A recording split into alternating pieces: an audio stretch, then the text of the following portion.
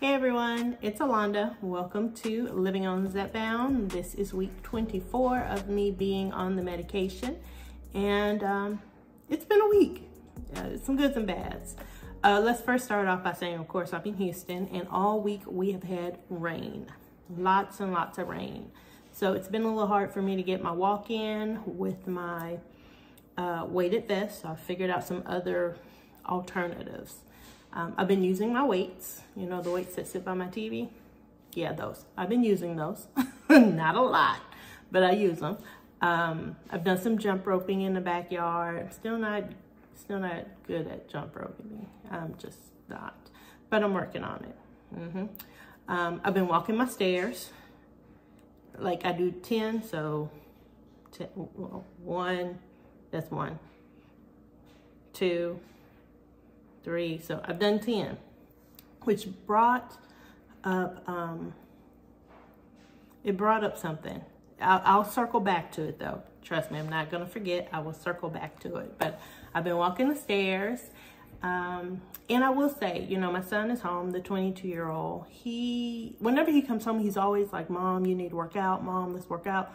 Mom, let's this. Mom, let's that. Always, every every time he comes home this has been the first time he's been home that one, he's seen the weight loss because he kind of saw it during um, his time when he came in, no, no, not November, in May when he came home Mother's Day weekend. He kind of could see it, but this time when he came home, he saw it. He was like, "Hey, mom, all right, all right. And I was like, yeah, I know, right?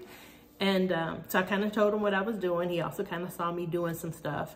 So he has not been suggesting that I do anything. So I felt real proud about that. It's like, okay, I'm doing it. Um, now he's been working everybody else in the house. Yeah, everybody else is going through his boot camp right now. Um, one of my daughters is getting ready for wrestling. And as you know, my other two, uh, one's in Massachusetts and the one is in Chicago.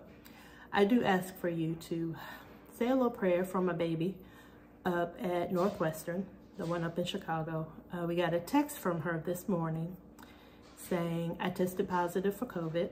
They are moving me to a single suite. Um, it's interesting, knock on wood, no one in our house has had COVID. No one.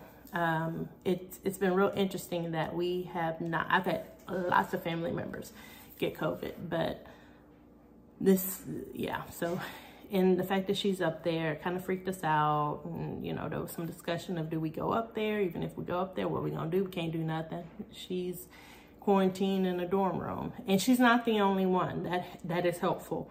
It was um, about five people in her little group that all contracted it. So they're going to test her again on Sunday.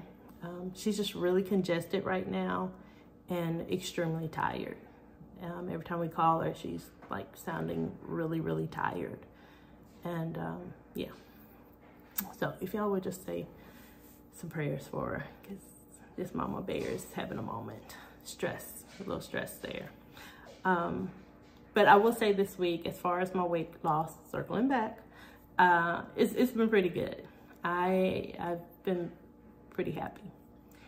Now, um, I don't even know how to say it. Let's just talk about weight. so, you know, last week I was pissed because I'd been walking with the weighted vest and, you know, I had like 0.6 weight loss. And I was like, what the hell? So I was not very happy last week. Um, this week I've really kind of stepped back to a habit where I was watching the scale every day. I was stepping on it, stepping on it, stepping on it. Um, sometimes with clothes, sometimes without clothes. I just wanted to see what was going on because this is the old Allanda. Well, not really the old Allanda, but many of you know. When it goes to regular weight loss and you're trying so hard and you're making these changes and you're doing this and you're doing that and you're not seeing it on the scale, it can be very frustrating. Very, very frustrating. And so, you know, last week I was frustrated. I, I, you know, in my mind I was doing good. I should have seen some big numbers and I didn't. So my body was doing whatever it wanted to do. But this week I did see a big change. Mm -hmm. Yeah. So last week I started at 221.3 as of 23 minutes ago. I am 217.5. So I have lost 3.8 pounds this week. Um, my overall weight loss journey from February 7th to where we are today, which is, I don't know, oh, July 26th. Um, I have my little note over here. I've lost 47.2 pounds. So I, yeah, I'm gonna take that and I'm very excited about it. 47.2. Um, usually when I lose weight, or at least when I was on Saxenda, all I lost was 40 pounds. And then I stuck. I got stuck at 40 pounds. Um, I got down to 180 and then I just rode 180 for months. So as people would say, I had to stall. I did. I had to stall and I could not get past that stall. It was so frustrating. Um, hence why I ended up getting off of it, but I still have one box in the refrigerator. Um, stuff is just too expensive to just throw away. don't, I don't know what I'm gonna do with it, but yeah, yeah. My son actually brought it up the other day. He was like, what are you doing with this? And I was like, mm, I don't know yet. Yeah, I don't know. I'm gonna just hold on to it for right now. Um, we did have a little bit of stress, not only just this morning with the whole I have COVID and I don't feel good and I can't, you know, be a mom right now. Um, my 17 year old, um, who I took with me last, I guess like three weeks ago, um, to look at some colleges. She still don't know what she want to do with her life. She still don't, and that's fine because she's a young child. But we kind of need to have some some some kind of guidance onto a path. And sometimes she says she wants to go to college.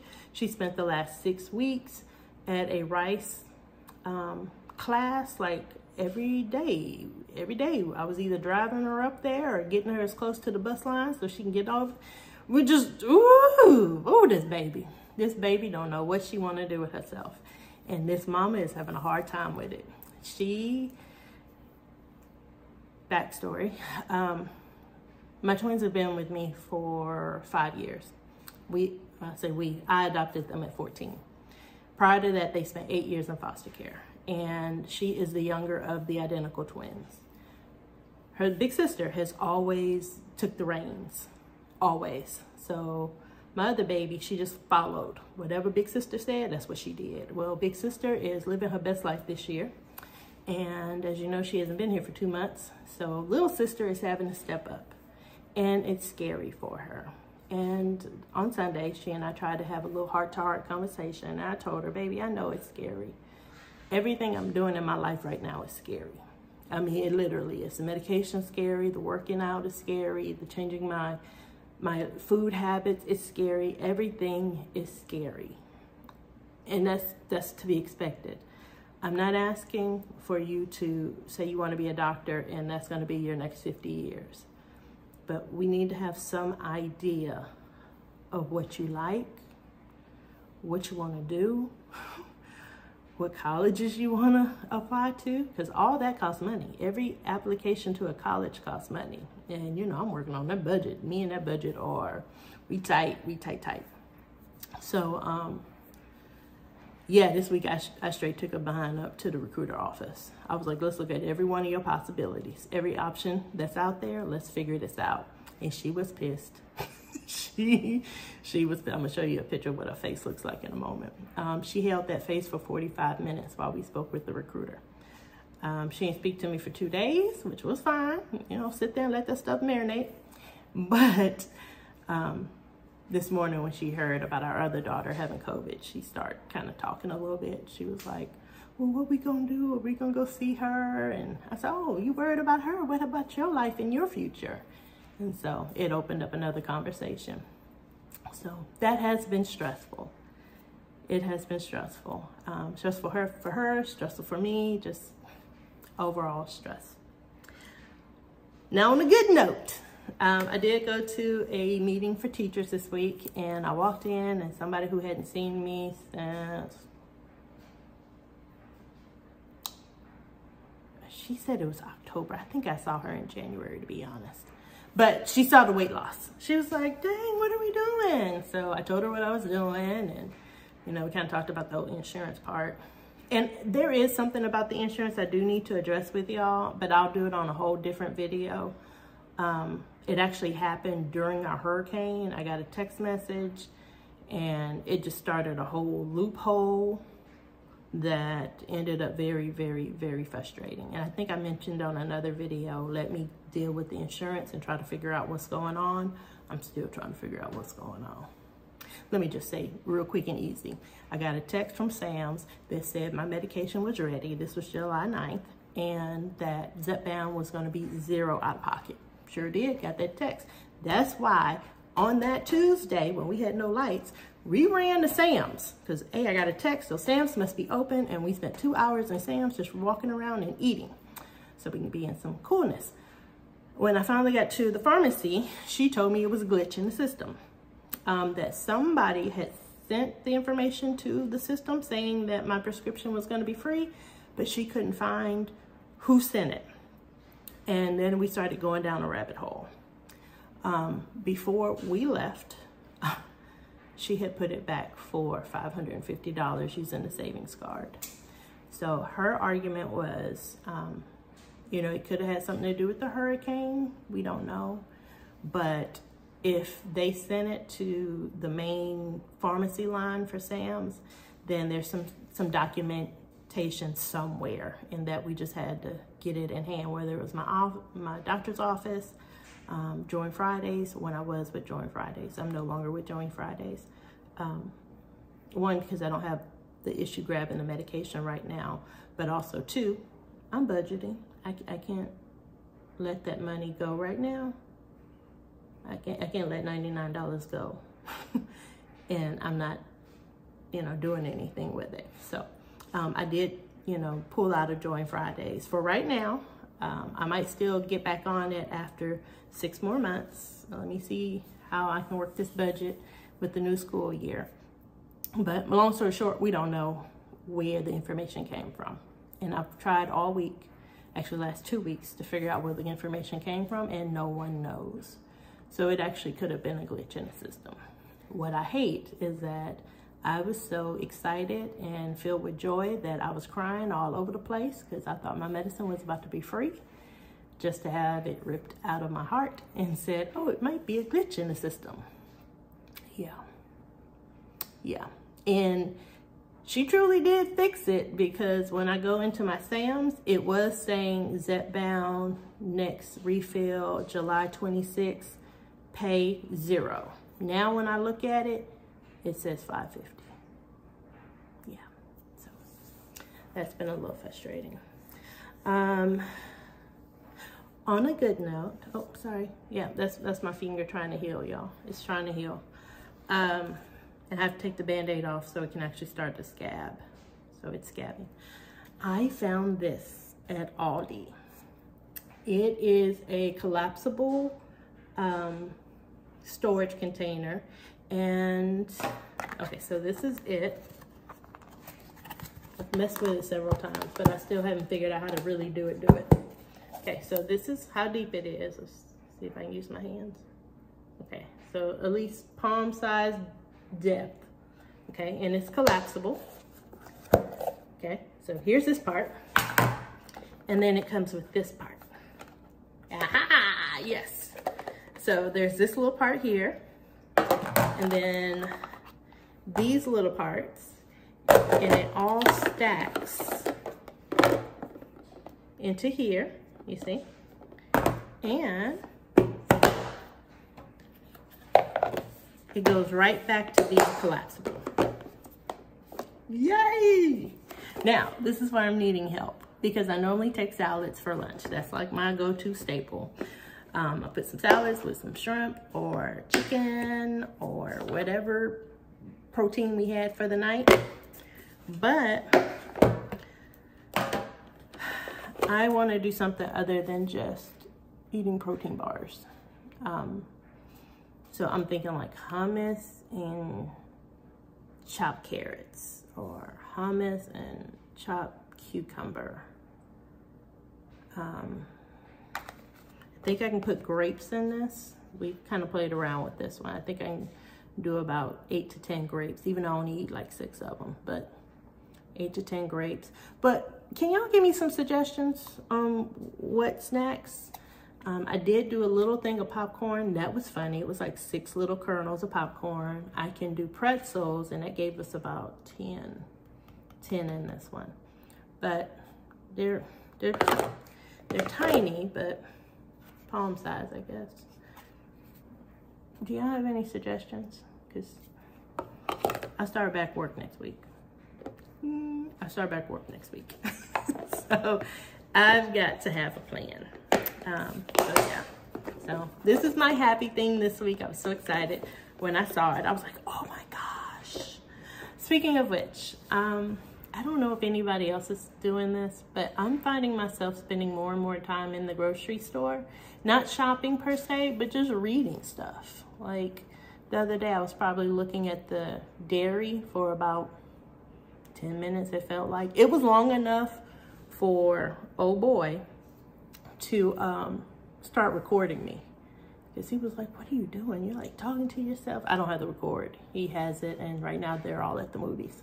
But um, he was like, what are you doing? I was like, I'm reading. I need to know how much protein's in this and how much sugar's in this.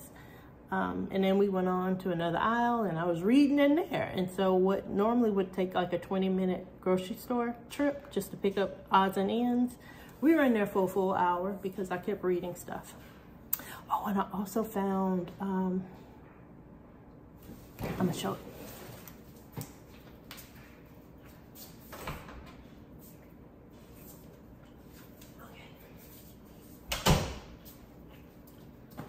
Oh, by the way, this, this is one of my oldie but goodies. Um, this is one of my um, less than 200 pound outfits. Yeah, when I'm, and I have this in blue, black, and like a reddish wine color. Um, but yeah, I got it on, y'all. It's on. I don't know how I'm gonna get myself my injection with this on today, FYI. Um, but these, I haven't tried them yet but I was reading a lot about it. Um, 20 grams of protein. Yeah. I don't know. Anybody else spending time in the grocery store? Just reading stuff? Or is that just me being me? I don't know. Um, but yeah, and then on the back it talks about snacks to go. so, uh, yeah. Yeah, I just wondered, am I the only one? Last thing before I, you know, jump out, and I'm sorry, this video is a little long right now. Let's get my camera right back. Um, so, like many people, I have different social media accounts. I do.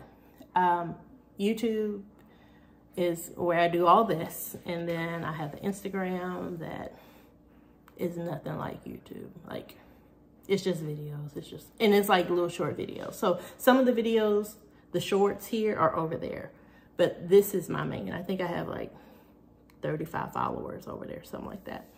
Um, but that one allows people to um, direct message me. So um, I've had two people in the last maybe three weeks ask me the same question. And I realized I was being a bad lady and I did not give y'all an update. So that's what I'm gonna spend the last couple minutes doing. Um, like I said, I started this journey February 7th and six weeks in, my co-parent, significant other at the time, informed me on my birthday, mind you, March 18th, that he had been having a extra, he had been having an affair. He had been having an affair and he just wanted to tell me. And I was hurt. Um, matter of fact, that was that was a film day, so I don't even remember which episode it was, but um, I knew I had to film, and I just thought I'd push through it. And yeah, I was hurt, um, almost broken, but I was definitely hurt. I knew something was going on, so that part wasn't really a surprise. I am very surprised that he was upfront and told me because he don't like to share anything. He don't like share nothing, nothing, nothing, nothing. It's like, come on, tell me something. How was your day? How was the day? Now keep in mind, I've known him 24 years, so some of that stuff I just know and I just deal with. But um, the cheating, oh yeah, we had an issue with that. But like I said, I was very grateful that he told me and that put me on a path to try to figure out my future. And at the moment, you know, I was telling everybody, we're leaving, I'm selling the house, and I'm like, I'm gonna do this, and I'm doing that, and I'm taking the kids. And then when I looked at my budget, I was like, you have a choice. You can either stay on your medication, or you can completely disrupt um, the family and move almost 45 minutes away to a place where a single mom of four kids could be okay? Um, two of my kids actually go to a school by where he works, which offered another issue that two of my kids may not be able to come with me because of their schools. Um, and they they've applied to these schools, they're specialized schools for them.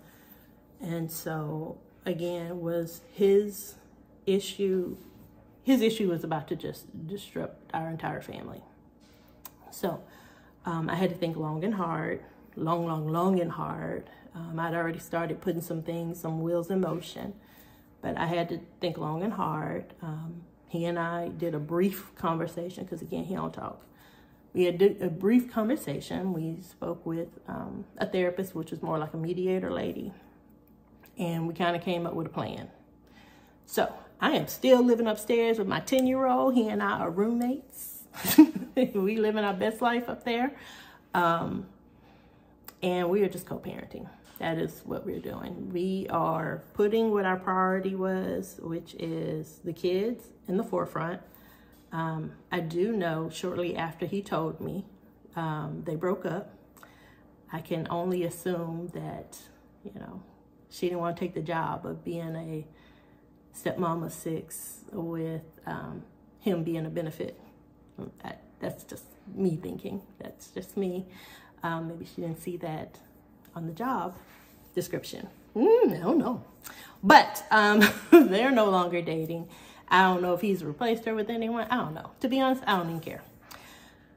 I have become a little dis desensitized to the whole situation of him, and I am solely focused on me, top priority, and my kids, second priority. So I just wanted to clear that up because like I said, I've had two people um, reach out on Instagram and they were like, Allanda, are you okay? What's going on with the family? Because I guess, you know, in, my videos, I, I call him my co-parent, the, other guy, old boy, whatever name just floats to the top. And so significant other? No, no, definitely not significant. He's just the other one. But um, our goal is to raise our children and every one of them is aware. I mean, you have to be. I'm going upstairs every night, which brought up the stairs. So yes, I can handle stairs now because I walk them every night and I come down them every day. And if I need something, I go right back up those stairs and I come right back down. So the stairs and I are no longer enemies. We are friends. Um, but yeah, yeah, that's where we are. We don't really share what's going on um, unless it's pertaining to the children. Yeah. Plus this year we have three graduations. Um, the two twins and then my 25 year old, or he's not 25, Lord help me, he's 22. And if we were to get our own place, we would both struggle financially for proms, um, graduations, my son, he's graduating from Maryland and we have to get to Maryland. So that would be a financial struggle um, as well. So that's one of the things we did talk about with the mediator lady is how do we move forward where I'm not giving him the death glare and he's not avoiding me. Um, because for a moment he was avoiding um, two of my kids, the twins. He was avoiding the twins. Um, and I say avoiding them because I spend so much time with them because they go to school where I work. He didn't know how much they knew. And so it just made him uncomfortable um, trying to tell them something when he knew he was in the doghouse. So um, eventually the four of us had a little sit down. They'd already known what was going on, but they hadn't heard it from him. And so he had to basically, in his words, because, you know, again, he does not talk. he does not talk. Um, his words. I just didn't know how to deal with y'all when I was dealing with stuff I shouldn't have been doing. Yeah, that's what he said. Um, which they're older, you know, so, um, yeah. Yeah, I don't know what else to say about that. we are co-parenting. We're raising kids, and that's the gist of it all. So I hope that answers your question. Um, in 11 months, we will revisit and see what happens. Hopefully, in 11 months, I'll be in maintenance, not being on Zepbound per se, or maybe my insurance will pick it up. Who knows? Who knows what would happen between now and June of next year? I, I can only imagine that I'll be finer than I am today. No. I'm just looking forward to losing weight. I love losing weight. And do y'all see it? It's almost gone. I told y'all, my, my chin, this one, my second chin, you know, when I first started recording here, I had four chins. Like right on here and here, and then this one and that one. And I told y'all, I said, this one is going to stay around. It'll be the last thing to leave. Um, but it's starting to go. So, see you later. I hope y'all take care. I'm so sorry that this video is longer than expected, but I did want to just update you um, because if two of y'all had questions and y'all were around, you know, my OGs, as I say, y'all were around from the beginning where I was having my emotional moment. Um, yeah, I haven't really talked about it in the last five months, so that's where I am. I am co-parenting and we are, you know, continuing to pay bills so I can stay on my Zepbound. So yeah. So I hope y'all do well. Um, it is still sprinkling outside, so I don't know. But it's a quiet house, so I'm gonna do something. I'll see y'all later. Hey everyone, seriously, I was about to do it again. I was about to upload the video and not give myself the shot. So, um, I need to do that. Yeah, I need to do that. Um, I think I know how I'm gonna give the shot without you all staying on my business, I think. So I got my alcohol pad. I am gonna do the right side again. Um, as you know, I lost 3.8 pounds on this side. I kind of like her.